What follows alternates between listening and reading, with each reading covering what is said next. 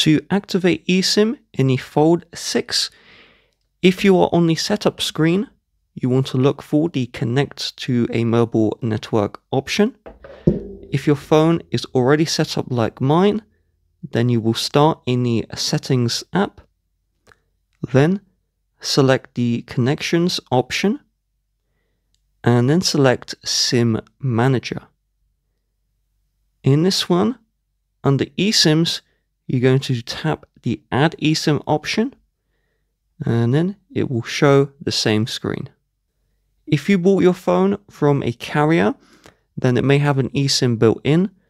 So you select the search for eSIMs option, or it may say search for mobile plans and it will find your phone plan and add it.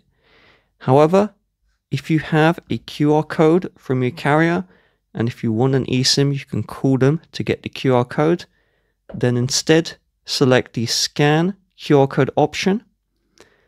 You then place the QR code in the frame of the camera to scan it, and then it will add the eSIM. This eSIM is already being used, so it won't add. And you will notice the transfer SIM from another device option.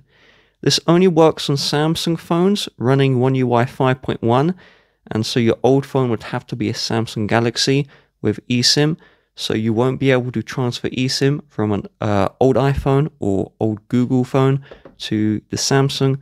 But when you select this, the old Samsung will have a transfer button. You will tap the transfer option.